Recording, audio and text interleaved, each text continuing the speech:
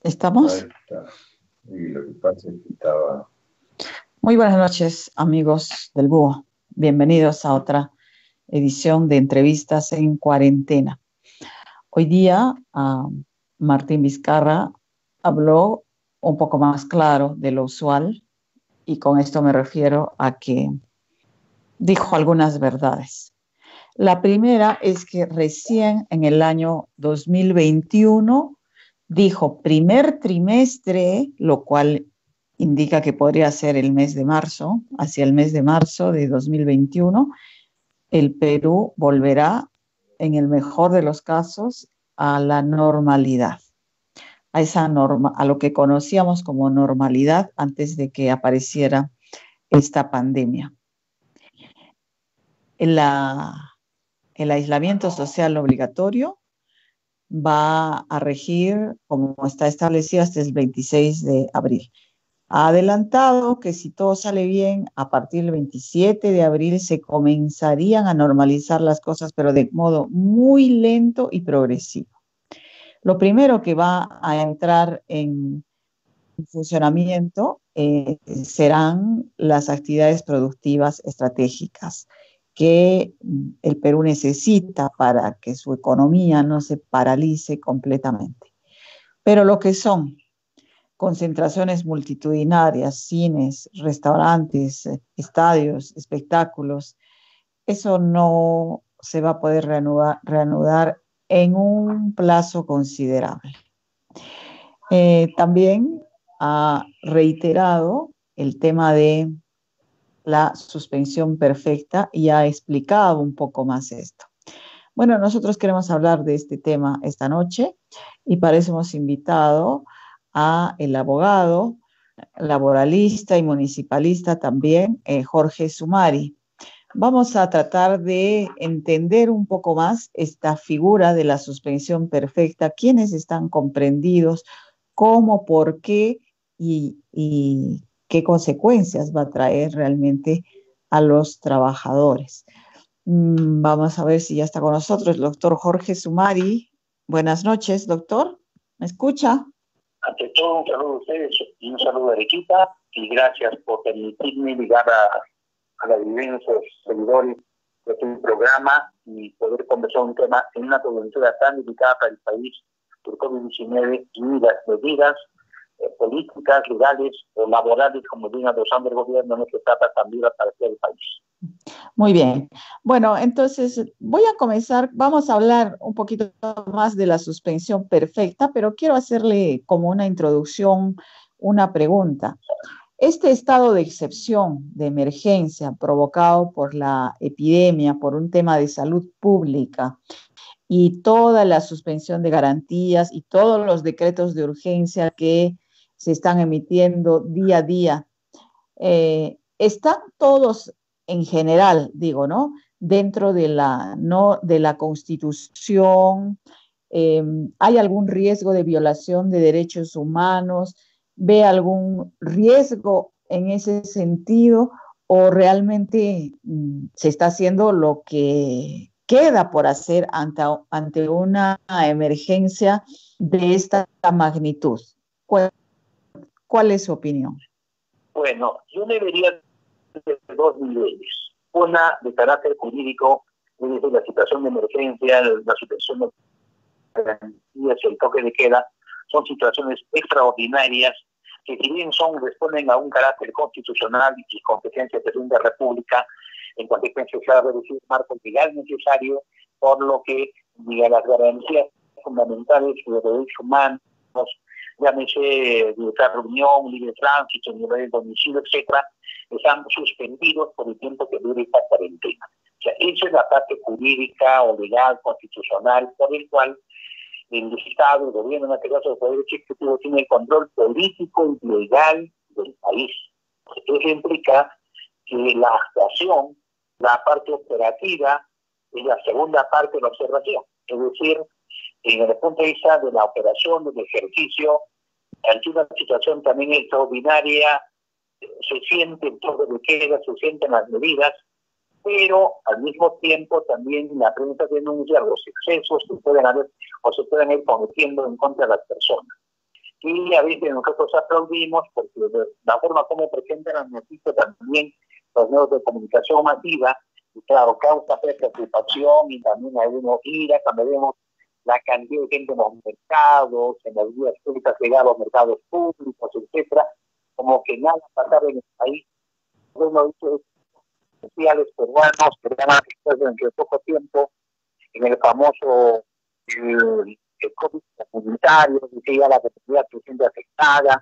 Entonces, esos temas radicales tienen un, un corte digamos, de intervención inmediata de las Fuerzas Armadas y policiales, o excesos o aciertos, pero esos son temas que dan y habrá tiempo, post cuarentena, para evaluar con nada que pueden investigar, pero por ahora la gran lista de los detenidos, etcétera, el Ministerio Público va, va a ser superado, rebasado para poder investigarlos y poner sanciones futuras. Entonces, eso, por ejemplo, después cuarentena quienes dentro del país, lo que ve el Ministerio Público, esos son los ángulos jurídicos, digamos, que le dan soporte, sostenibilidad a la situación de emergencia que tiene donde la actor principal que como la República, con el método y el sistema que ha empleado de sus conferencias de mediodía, para anunciar, como dice, el parque de guerra, como de una guerra ante un enemigo invisible, el parque de guerra, y todos los mediodías tenemos el parque de guerra, nos vamos enterando de cómo va avanzando el país.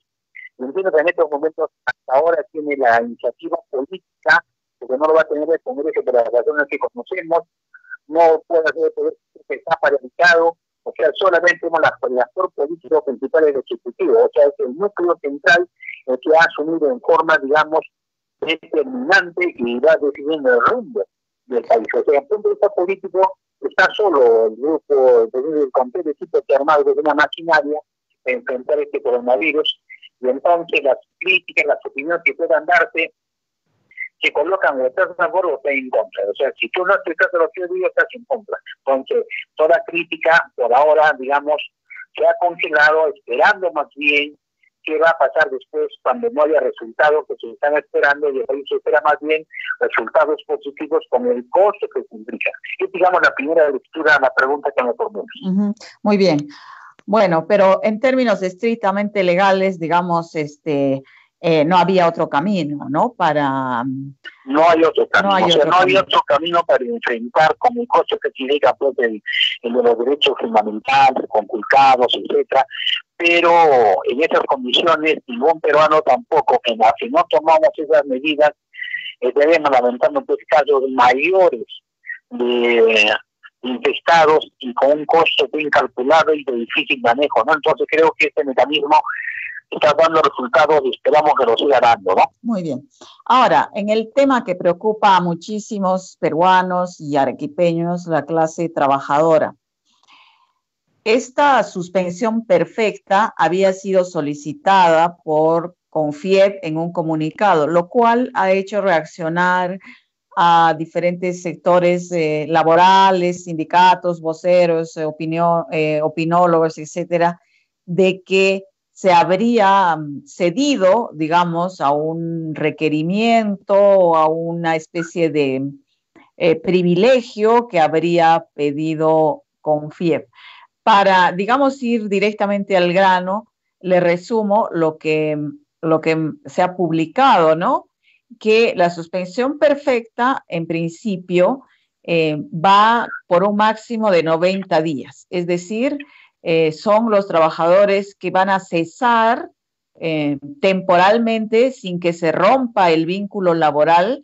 No trabajan, no se les paga, pero digamos es con la promesa de retornar en 90 días. Ahora, los problemas que yo personalmente veo para que esto eh, cumpla los objetivos que dice tener, ¿no?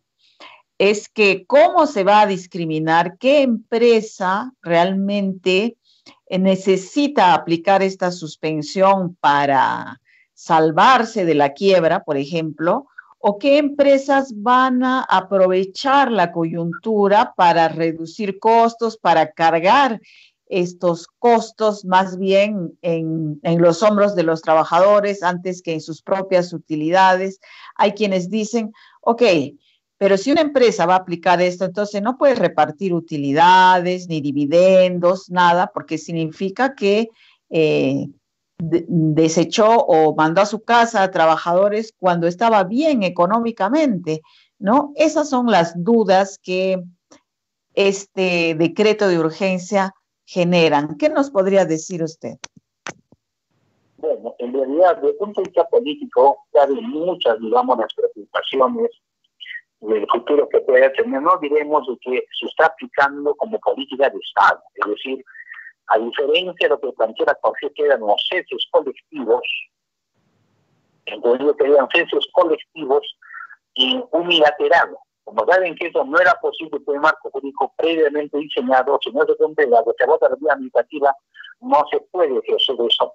Entonces vieron que eso no era posible, pero que definitivamente era una alerta al gobierno y el mecanismo intermedio que se buscó era la situación perfecta por el cual, en teoría, el trabajador cuando pide licencia sin goce de esa por 90 días, se suspende el vínculo laboral. O sea, durante esos 90 días el trabajador, al estar suspendido, no hay vínculo laboral. Pero como la norma es expresa, es decir, extraordinaria, por circunstancias de la, de, la crisis, de la de la, como se han denominado la de emergencia sanitaria con el plazo de 90 días, entonces, ¿qué hacer? Para en términos objetivos, si la empresa no está operando, no está trabajando, no está en el mercado, no hay servicios, porque la cadena de ingresos no hay, como los gastos son los que se incrementan más con el gasto corriente que son las remuneraciones. Entonces, los afectados inmediatos han sido todos a los formales y los micro y pequeños empresarios inevitablemente afectados. Luego tenemos en nuestro país la mediana y la gran empresa, en distintas versiones.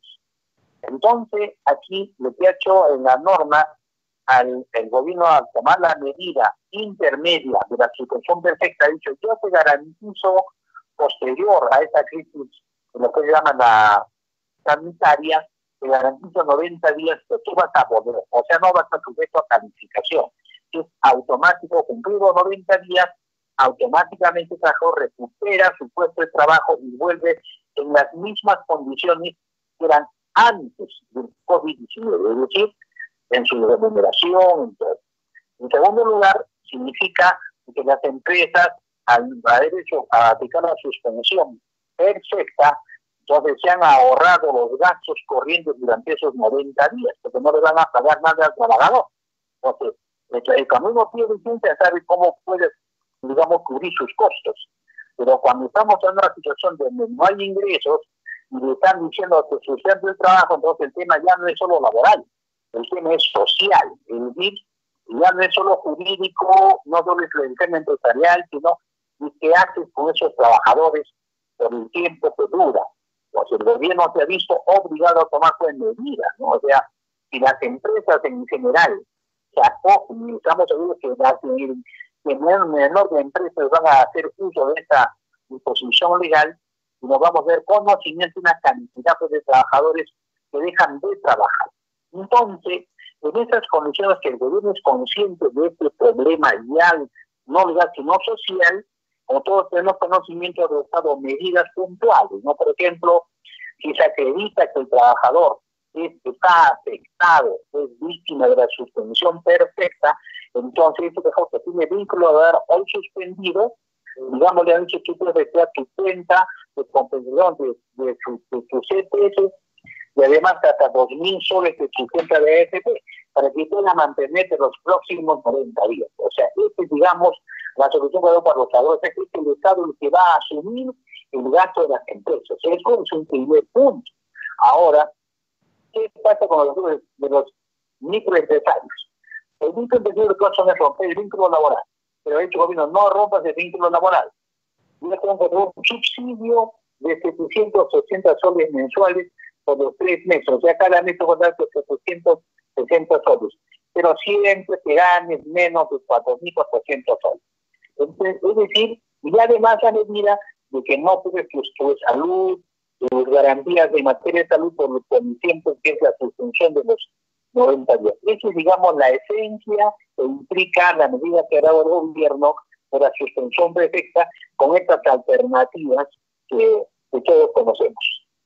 En otras palabras, eh, ya está autorizado ahora de que eso ocurra. Es decir, si mañana, digamos, en una empresa local, en un restaurante que no va a funcionar eh, pronto, en el cine, los trabajadores de Cine Planet, eh, mañana ya el empleador les puede decir, bueno, acogiéndome a este decreto de urgencia, ustedes, fulanito, sutanito, venganito, van a entrar en esta suspensión y nos vemos en mayo, nos vemos en julio. Eh, eso es lo legal. Y si tienen CTS, sí, si tienen CTS AFP, van a poder, digamos, pero es su, su ahorro, ¿no? Y si, y si no tienen nada, el gobierno les va a dar un bono para que puedan eh, sobrevivir estos tres meses. Pero lo que dicen es que el Ministerio de Trabajo es el que va a autorizar y han enfatizado en que la empresa tiene que acreditar que realmente eh, no va a operar o que realmente está en una condición económica que no puede mantener esos trabajadores y la única manera de salvar la empresa y por lo tanto esos puestos laborales es eh, mandarlos a su casa por tres meses, que es mejor que despedirlos. Ese es el, argumento. Yo veo ahí una debilidad, porque ¿cómo se va a determinar eso? ¿Quién lo va a determinar? ¿Es claro eh, esa parte para usted? Bueno, lo que la norma dice es que las empresas sienten por este camino o esta vía es la vía remota sea, por vía remota comunican al Ministerio de Trabajo con gran situación incurada que van, a, que van a dar inicio a la suspensión perfecta. Ahora, esta presentación o inicio del procedimiento administrativo va a ser objeto precisamente de verificación posterior por la autoridad de trabajo, no hasta 30 días hábiles de presentar esta comunicación. Y más bien le dan 7 días hábiles para que, digamos, ellos, de periodo de verificaciones, pidan una resolución. Pero acá lo gracioso es que, como se se ha aplicado el silencio positivo, es decir, si yo, Ministerio de Trabajo, dejo pasar el plazo de los siete días hábiles, entonces aplica el silencio administrativo positivo, por consiguiente se tiene por aprobado. Este es, digamos, el riesgo que se ha planteado en una situación realmente preocupante, porque el Ministerio de Trabajo va a tener una carga y va a superado en los plazos y vamos a tener una embanada pues, de cimientos administrativos positivos, sea por omisión, o sea por concierto de voluntades, sea por negligencia. Es decir, si no se tiene el aparato administrativo eficaz y eficiente, va a pasar los positivos que tú estás señalando y eso es lo que va a pasar. Vamos a sentir cuando vamos a tener cuando se y tenemos una cadena de reclamos, de problemas, de procesamientos, de, digamos, suspensiones que no son tan automáticas, etcétera, que va a haber problemas de ese tipo, inevitablemente, de pronto la norma puede ser hasta rebasada. Ahora, por ejemplo, el tema es que se tome en cuenta lo que pertenece a grupos de riesgo de edad o factor clínico son otros temas de mantener vínculos laborales, la presión sea, la migración, que es una negociación aparte, ¿no? O sea, ese es el mecanismo, la metodología que se está planteando, el del silencio positivo, y además, bueno, me van a decir que si ya han sostenido, estás evitó para sacar tus 2.000 soles, tus CPS, no queda desamparado, pero ese dinero sí, pues no hay ningún problema, no, te estoy autorizando. O sea, ese es el sueño, digamos, consuelo que tiene el trabajador. Ahora, eh, en general, se ha considerado que las personas mayores de 60 años mm, eh, tienen riesgo eh, mayor, ¿no? Y en general no, no están dejando o mm, volver, no dejarían volver a las personas mayores de 60 años en el, en el aparato público, por lo menos aparentemente va a ser así, personas, o como está pasando con los médicos, igual, personas mayores de 60 años se quedan en casa. Entonces, las empresas tal vez hagan lo mismo. Entonces, para no correr más riesgo del necesario, todas las personas mayores de 60 años las van a suspender perfectamente. No sé si estoy aplicando el, término, pero e, eso puede pasar, ¿no? Claro, el tema es que más bien la alternativa es de mantener, de adoptar medidas, digamos, que son necesarias a fin de mantener el vínculo, lo que busca es mantener el vínculo laboral y la devolución de remuneraciones. Pero hay que tomar qué tipo, cuáles son los, cuáles son los, como, como llaman ellos, el lenguaje que está de moda. Bueno, el, el contenido es que cuáles son los, los mecanismos, los el protocolo, el protocolo de seguridad que tenga que estar. Que esos temas la empresa lo va a hacer. Entonces, yo siempre, ¿para qué me complico? Eh, suspendo, local no hay vínculo laboral, no te afecta el seguro social, tiene su CPS, tiene su o hace que lo retires. O sea, este es el otro problema que va a darse las personas menores de 60 años, pero que la norma es grupo de riesgo por edad o factor clínico. Son dos efectos importantes. Donde dice que tú puedes, pueden adoptar medidas que resulten necesarias a fin de mantener la vigencia del vínculo laboral y la protección de remuneraciones. Muy bien. digamos, eso es lo que se viene dando. Bien, entonces, eh, doctor Sumari, para terminar, ¿usted nos podría dar unos dos o tres em, tips que podrían mejorar esta situación porque eh, siempre es perfectible una norma, ¿no? Quizá los trabajadores, los sindicatos em, puedan también hacer algunas sugerencias como para mejorar esta, esta norma, ya que está dada, en verdad, pero para que no prevenir abusos, por ejemplo, ¿no? Que se, que se podrían dar, o proteger a los más vulnerables, en este caso, por ejemplo, las personas mayores de 60 años que se van a ver obligadas a usar parte de su CTS, de su, de su AFP, cuando ya están por retirarse probablemente y eso los, los perjudica, ¿no? Entonces, eh, ya dentro de la, del contexto que vivimos y de lo inevitable aparentemente de esta este mecanismo, ¿qué se podría sugerir para hacer dos o tres cosas para el control, para el no abuso, para la protección? Eh, ¿Qué podría sugerir usted? Bueno, en primer lugar, creo que lo que cae acá es tomar algunas medidas de control previo. Por ejemplo, hacia el 6 de marzo, ¿cómo estaban las empresas? Si estaban en alta rentabilidad, ¿En qué medida desde marzo hasta abril se han visto afectados? Es un primer elemento objetivo. O sea, por tanto, no basta decir, estoy, me acojo a este beneficio porque no hay trabajo así, pues en términos cuantitativos económicos, hagamos un punto comparativo. Lo que era hasta febrero y lo que es en marzo para adelante. ¿Cómo te has afectado justo para no poder trabajar, para no poder pagar trabajadores que tengan que beneficiar? Dos, si te acoges, ¿qué porcentaje? ¿Al 100%, un 30%, un 40%? ¿Qué es lo que vas a coger?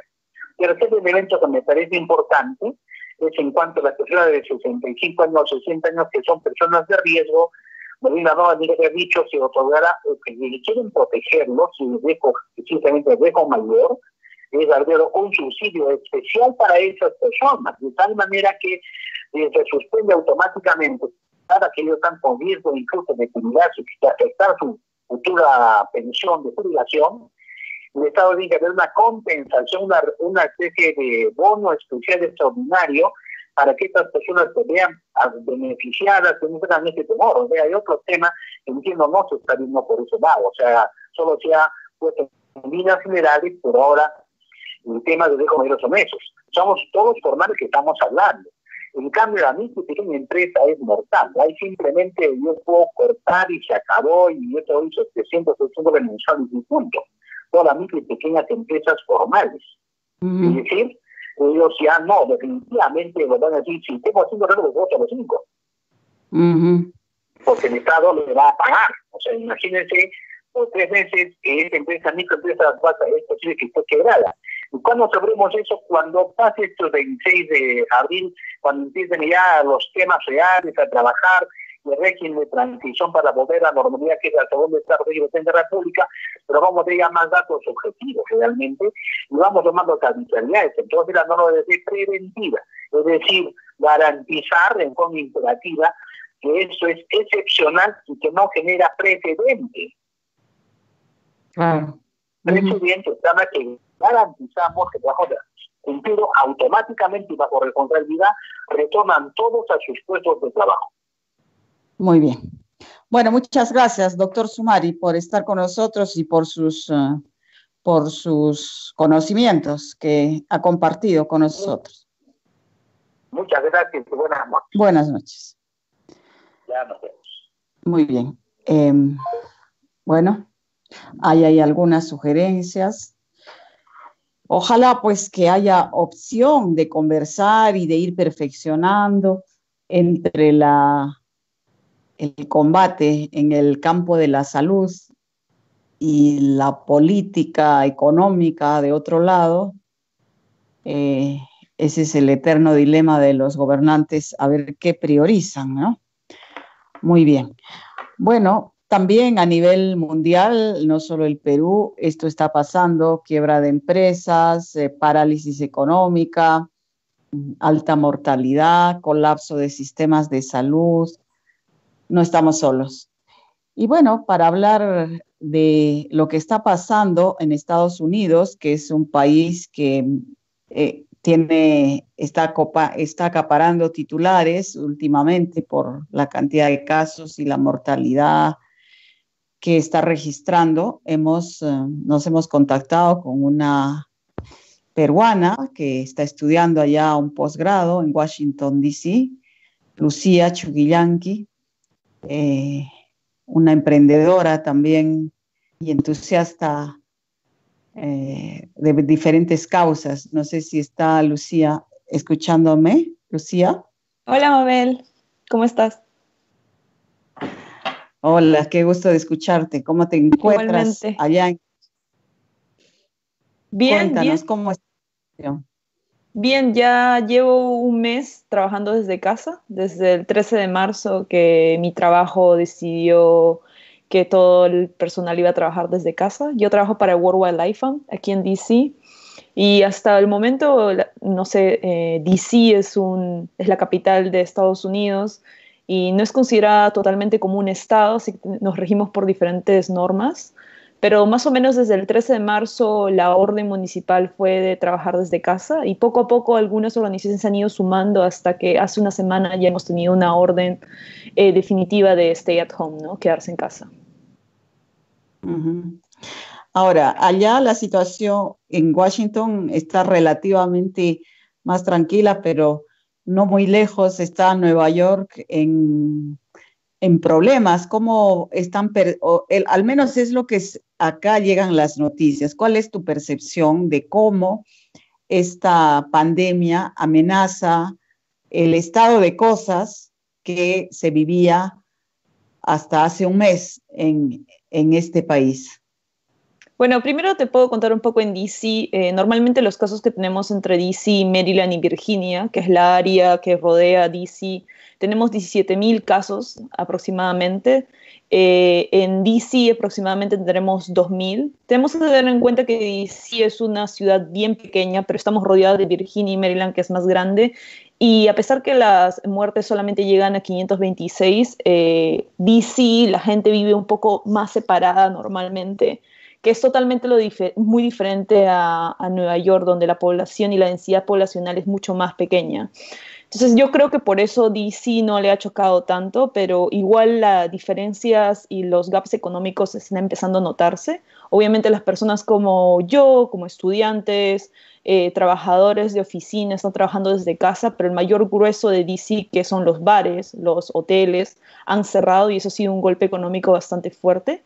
Eh, que hasta ahora no existe una solución. La idea del gobierno es que van a recibir cada ciudadano americano 1.200 dólares. Lo que no sabemos es cómo se va a, va a ocurrir esto. Hasta ahora no hay un procedimiento. Eh, los canales de, para registrarte como desempleado han colapsado. Entonces, existe un, gran incertidumbre para la población que está trabajando en servicio, claramente. Eh, y obviamente hay una tranquilidad por parte de la gente que trabaja en oficina porque sus trabajos todavía no han sido afectados pero se prevé que va a haber un recorte personal o un recorte de pagos, ¿no? Hasta el 1 al 2% de tu paycheck es lo que se está, está ocurriendo, le está ocurriendo ahorita a alguno de mis compañeros, mis compañeros de casa y compañeros de la universidad que están experimentando un recorte de 1% en sus saldos. ¿Cómo ves, Lucía, desde allá, la manera como Perú ha estado manejando esta crisis. Por ejemplo, tú sabes, como todos los peruanos, lo precario que es nuestro sistema de salud, ¿no? Y si en Nueva York, en una ciudad tan eh, rica en todos los sentidos, ¿no? Em, ocurre un colapso casi de los sistemas de salud, ha ocurrido en España, ocurre en Italia, eh, los peruanos, ¿qué podríamos esperar?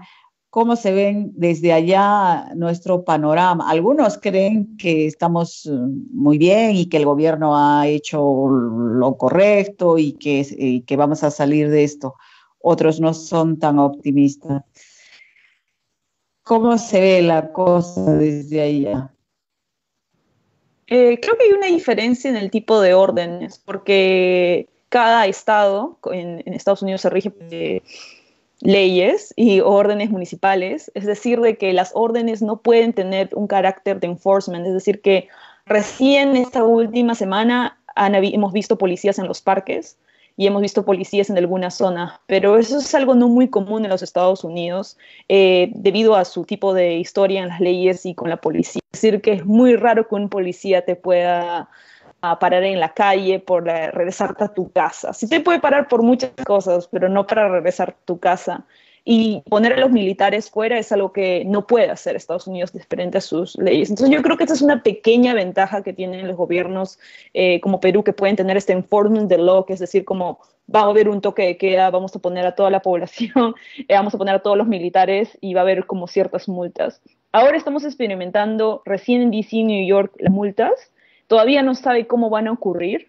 A pesar que la policía en Nueva York es muy fuerte y tiene carácter eh, de tomar decisiones bastante rápidos, también hay bastantes sesgos raciales y, migratorios. Yo creo que esos son los dos grandes eh, retos que tiene New York, DC y todo el gobierno americano, que no está tomando en cuenta estos grandes sectores. Yo creo que la opción que tiene Perú es seguir teniendo estas reglas súper duras porque no existe la capacidad. Eh, creo que países como Estados Unidos están confiando mucho en sus capacidades y no están poniendo muchas eh, restricciones. Yo, por ejemplo, estoy hace un mes en mi casa, eh, pero al mismo tiempo yo puedo ir ahorita mismo y, y, pasearme al parque caminando, nadie me va a detener. puedo ir al supermercado a cualquier hora y a la farmacia, solamente tengo la recomendación de no ir. Y quizás si tengo mala suerte me encuentro con un policía, puedo ser detenida y, y, y poder algún tipo de explicación, pero sería muy raro. Entonces, yo creo que las situaciones que se están, desde al menos eh, la parte académica en la cual yo me dedico, es que se están siguiendo muchas de las políticas que están teniendo en Latinoamérica. Obviamente cada situación y capacidad son diferentes, eh, pero existe también mucha incertidumbre económica eh, yo creo que ese es uno de los grandes este, riesgos que va a tener este país, a pesar que es bastante poderoso, este, los gaps económicos, las brechas económicas son muy grandes y las está experimentando ya su población negra, su población latina e inmigrante las cuales no están tomadas en cuenta en sus políticas. Así que hay un lado positivo y mirada en el, en el caso peruano, al menos desde mis compañeros que analizan las políticas públicas, se ve favorable y se ve como la única opción también. Es como si no tienes las capacidades, tu Estado solamente puede tener decisiones duras y esperar que la población las siga. Y si no, ponerse más duro porque la única manera de detener esto es este, en casa porque no tenemos las capacidades y nada, esperemos que sigan así, eh, esperemos que las, de hecho yo ahora estoy un poco más tranquila en DC porque he visto que estas órdenes están teniendo más de carácter duro. eh, porque, no sé, hasta ayer ni siquiera tenía que usar una máscara para ir al supermercado, pero desde, perdón, desde el viernes pasado es obligatorio usar una, una máscara al supermercado. Y por último, Lucía, ¿tú ves um, para cuándo crees que la vida vuelva? Por ejemplo, los viajes eh, están suspendidos, no sabemos hasta cuándo, mm, para eventos, para que tú puedas regresar a Perú eventualmente por cualquier motivo, para hacer turismo. Mm, en fin, este, el mundo ha cambiado radicalmente en muy poco tiempo.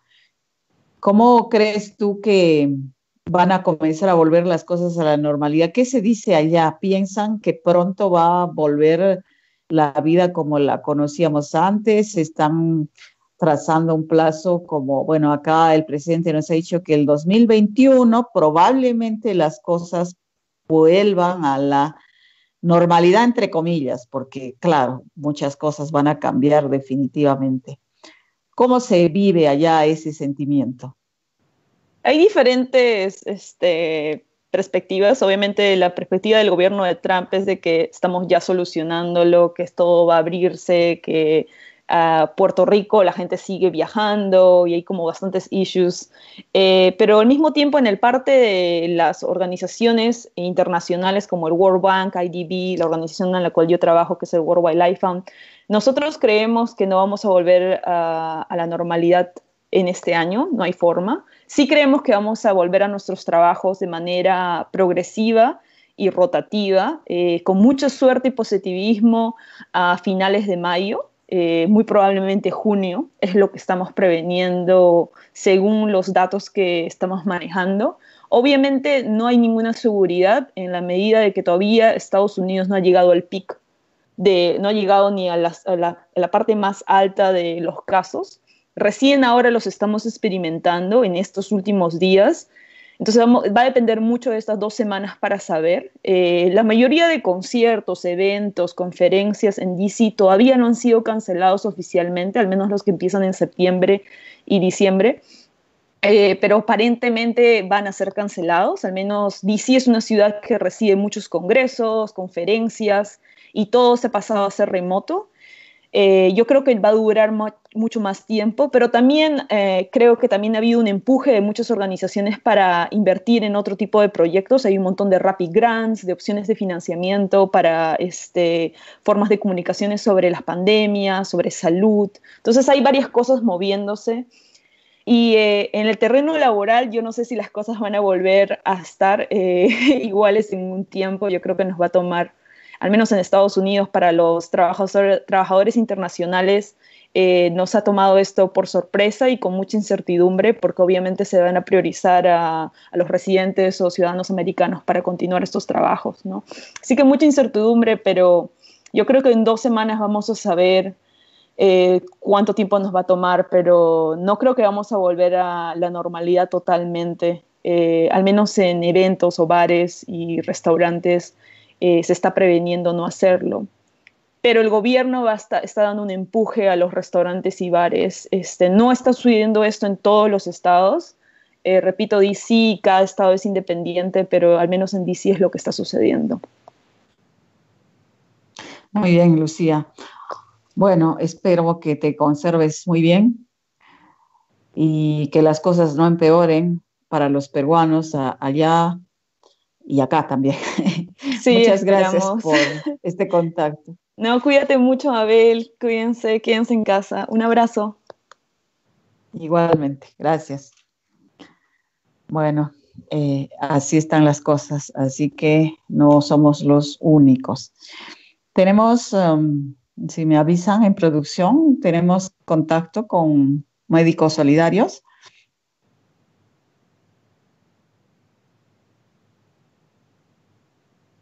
Ah, ok. Bueno, eh, Médicos Solidarios, que enseguida vamos a tratar de contactarnos, mm, es una iniciativa eh, de varios mm, médicos, ¿no? Para ayudar, colaborar, eh, prevenir, mejorar la situación de los médicos que están en la primera línea, de combate, como se dice, ¿no? Que son los que están tratando directamente a los pacientes contagiados de COVID-19.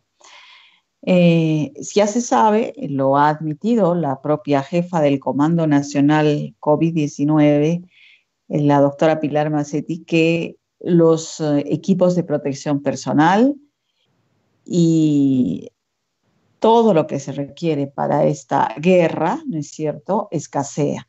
Escasea en el mercado mundial, prácticamente no existe en el mercado local y hay una situación de riesgo que tienen que afrontar o enfrentar, ¿no? Los médicos y enfermeras y personal asistencial que está pues tratando directamente a los pacientes. Vamos a conversar ahora con Águeda Muñoz, ella es parte de esta organización, eh, una de las líderes de esta organización Médicos Solidarios, para que nos cuente eh, cuál es su objetivo de este, de este colectivo, de esta organización y cómo, perciben ellos también desde, desde su lado eh, lo que estamos viviendo, esta guerra que efectivamente estamos viviendo. Buenas noches, Águeda, ¿me escuchas? Hola, buenas noches. Bienvenida al Búho TV en cuarentena. Eh, por favor, te estamos contactando para que nos hables de esta iniciativa muy interesante, eh, que como su nombre lo indica, está inspirada, basada y con el objetivo de la solidaridad en una situación realmente tan poco común y en, y en algunos casos dramática, ¿no? Cuéntanos, por favor.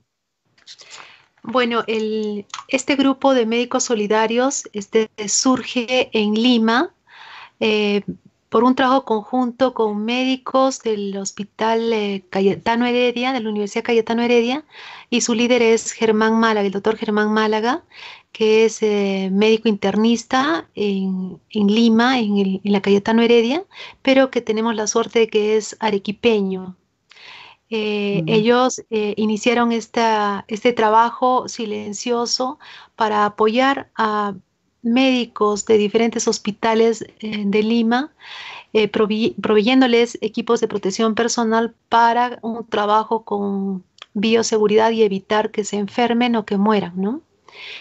este trabajo lo han, estado realizando en varias zonas localizadas de Lima, hasta que de un momento a otro este, este, voltearon la mirada a la región Arequipa, que creo que es importante en este momento recibir la ayuda, la ayuda de muchas, de muchos, de muchos entes, de muchas instituciones, pero también de este tipo de, de este tipo de, de médicos, de este tipo de ayuda que es de médicos solidarios que no tienen un tema político, eh, que tienen simplemente el deseo de colaborar con la población y con los profesionales de la salud que van a estar en primera línea eh, en, la atención de pacientes COVID.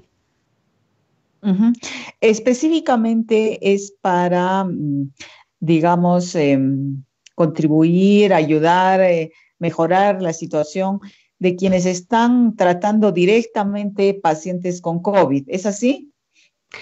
Sí, en realidad este, la primera meta es eh, proveer a los profesionales que van a atender pacientes COVID equipos de protección personal.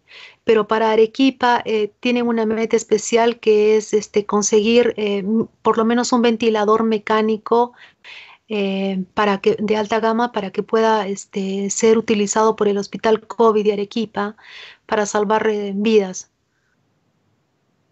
Muy bien, entonces, ¿cuál es eh, la metodología, los canales que ustedes este, han puesto a disposición para que la población de Arequipa que puede hacerlo contribuya con qué tipo de recursos para lograr estas metas. Básicamente, equipos de protección personal para el personal que va a tratar pacientes COVID e incluso un equipo de ventilación mecánica, pero de alta gama, porque efectivamente hay también en estos equipos una variedad ¿no? de, de performance y de costo, por lo tanto, ¿no? Entonces entiendo que estos de alta gama, que deben ser los más eficientes, obviamente, tienen un costo bastante mayor que, otros que también se han visto en el mercado. Bueno, en realidad, este, así haya los recursos económicos en, todos los países hay una pugna por, por, por la compra de, de, estos ventiladores. En realidad los de los que son más simples, hasta los de alta gama, es casi imposible encontrar en el mercado. Entonces, este, lo que está, lo que está haciendo Médicos Solidarios es recurrir, recurrir al, en primer lugar, al, al, tema de apoyo en Lima, pero también sensibilizando a la población arequipeña para que puedan hacer sus donaciones. Em, eh, las cuales este, van a servir para comprar los equipos de protección personal y tal vez para, eh, conseguir algún ventilador este, que pueda ser tal vez producido aquí en, en el Perú. Eh, creo que uno de, los valores que tiene este, este grupo de médicos solidarios es que están eh, no solo trabajando eh, con la compra de, equipos a proveedores que pueden ser internacionales, sino que les está dando la mano a, a emprendedores e investigadores de la región eh, porque hemos entendido que una de las, una de las misiones es apoyar el, apoyar el conocimiento y el emprendimiento y la investigación y la innovación este, de los propios peruanos. Eh, eh, ellos en este momento, médicos solidarios, están apoyando en, en, proyectos de innovación en tres áreas. Uno es la, em, el apoyo del de la adquisición de los eh, escudos faciales, los protectores faciales que ya se están donando a hospitales, que fue un proyecto de investigación de mi persona. Yo, yo soy investigadora de la Universidad Católica de Santa María, que, en, que junto con, con, el ingeniero Miguel Ocampo de la empresa DNS, eh, logramos prototipar una, una máscara, un, un protector facial y ya empezamos a, este, a distribuirlo en donación al Hospital General y al Hospital Goyeneche. Y cuando este, es parte de médicos, em, cuando ingresa Médicos Solidarios Arequipa, lo primero que hacen es promover eh, la mayor producción de estos, de estos eh, equipos de protección personal. Es lo primero. Lo segundo, este, están promoviendo la producción de estas em, cajas para la intubación segura de, pacientes en, zonas críticas como la unidad de cuidados intensivos. Entonces también están promoviendo el desarrollo de esta innovación y posteriormente eh, alguna, alguna otra innovación para, para la atención este, más personalizada de los, eh, de los pacientes COVID con otro tipo de ventiladores. En realidad eh, creo que además de que están trabajando a nivel nacional, están promoviendo eh, la innovación con investigadores arequipeños. Ah, qué buena noticia. Bueno, ¿y cómo, cómo se puede colaborar? ¿Quiénes se pueden sumar? ¿De qué forma se puede colaborar Mira, con hay este muchos proyecto tan interesante? Muchas gracias por esa pregunta. Bueno, en primer lugar, eh, ellos, eh, bueno, yo soy parte de los médicos solidarios, este, tenemos una cuenta en el BCP, si es que quieren hacer una, un aporte monetario. La cuenta es el ciento, las, número 193 37 366 195 029. Repito, la cuenta. Sí, repítela, por favor. A ver, eh, dame un segundo. De repente vamos a, tomar, a, dejar que nuestros oyentes puedan coger un lapicero y un papel y apuntar, por favor, esta cuenta BCP, el número, si quieren aportar a Médicos Solidarios, es el que sigue. Dinos. 193 37 366 195 029. Es la cuenta BCP en soles. Muy bien. Y el código interbancario es el 002 193 137 366 195 029 15. Muy bien. Entonces, a través de transferencias, depósitos, eh, como fuera, eh, pueden contribuir en esta cuenta. Ahora, aparte, ustedes tenían como una, un compromiso, digamos, de reportar, digamos, lo que es recaude y su forma de empleo, ¿cierto? Correcto. Estamos, este, eh, se está abriendo una, una página de Facebook para que todos los, todas las personas que están donando este, puedan con total transparencia conocer en qué se está utilizando, en qué se está gastando el dinero. Además, si es una empresa que quiere donar a otra persona natural, se le va a otorgar un certificado de donación. No solo eso, pueden, pueden, este, bueno, además, este, en, las cuentas personales de los principales este, directores, que son Germán Málaga y Anita Zúñiga, diariamente se está reportando el, tema de la, cuánto se está recibiendo de las donaciones y en qué se está gastando. El, em, además de estos equipos de protección personal este, elaborados por, por nosotros, ya se está este, también eh, programando la, la donación de mamelucos para las áreas más críticas que serían UCI, trauma shock, eh, de acuerdo a la normativa peruana e internacional de bioseguridad. Se van a donar 250 mamelucos al Hospital General y 250 mamelucos al Hospital Goyeneche. Ah, qué bueno, qué bueno. Para ello, para ello ya hemos hecho las gestiones con el comando, este, que es ahora el que va este, a recepcionar todas las, todas las donaciones. A centralizar, claro. Bueno, este es una muy, muy alentadora iniciativa. Esperamos que tengan, tengan receptividad en, en la población arequipeña, pensando en los médicos, o enfermeras, el personal que como ya se ha vuelto eh, costumbre decir que están en la primera línea de combate, pero que a veces de repente repetimos eso y no nos estamos poniendo a pensar en lo que realmente están arriesgando, ¿no? En la valentía que se requiere para hacer eso y en la necesidad que tienen de ser eh, por lo menos protegidos, si, si no reconocidos y retribuidos más adelante, ¿no? ¿Algo más que quieras acotar, Águeda?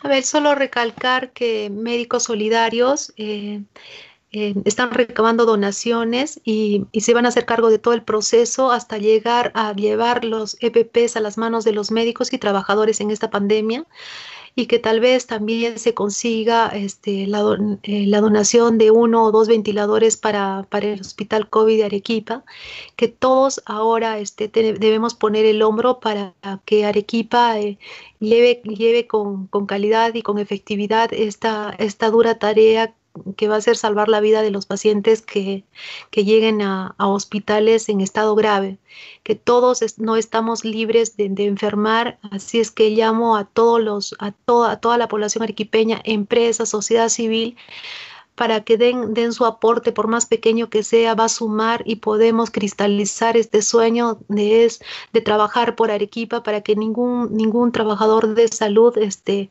pueda morir contagiado por, eh, por el COVID. Muy bien. Muchas gracias por estar con nosotros y por trabajar en esta iniciativa. Que tengas buenas noches. Gracias. Muy bien. Bueno, amigos, esto ha sido todo por hoy. Nos reencontramos mañana en entrevistas en cuarentena. Que tengan muy buenas noches.